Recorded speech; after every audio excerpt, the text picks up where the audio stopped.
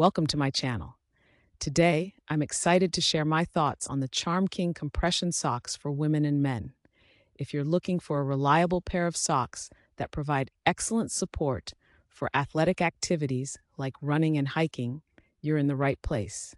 And just a quick reminder if you're interested in purchasing these socks, the link is pinned in the first comment below. Now let's dive into the review.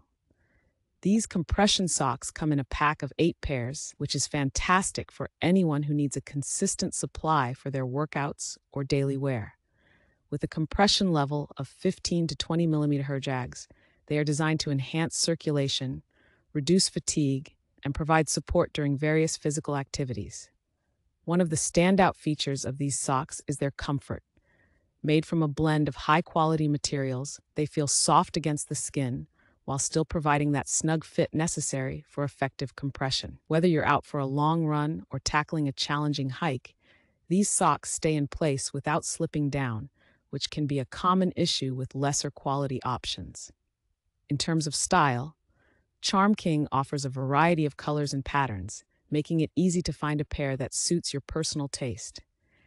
This versatility allows you to wear them not only during workouts, but also as part of your everyday outfit. Another significant advantage is their moisture wicking properties. The socks do an excellent job of keeping your feet dry, which is crucial for preventing blisters and maintaining comfort during extended wear. After several washes, they maintain their shape and elasticity, which speaks to their durability. Overall, the Charm King compression socks are a fantastic investment for anyone looking to enhance their athletic performance or simply improve their overall foot health. With eight pairs included, you won't have to worry about running out anytime soon. Don't forget to check out the link pinned in the first comment if you're interested in giving them a try.